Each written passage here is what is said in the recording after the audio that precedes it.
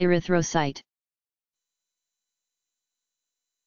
Erythrocyte, a cell that contains hemoglobin and can carry oxygen to the body.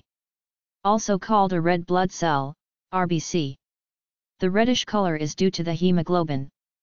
Erythrocytes are biconcave in shape, which increases the cell's surface area and facilitates the diffusion of oxygen and carbon dioxide. This shape is maintained by a cytoskeleton composed of several proteins. Erythrocytes are very flexible and change shape when flowing through capillaries.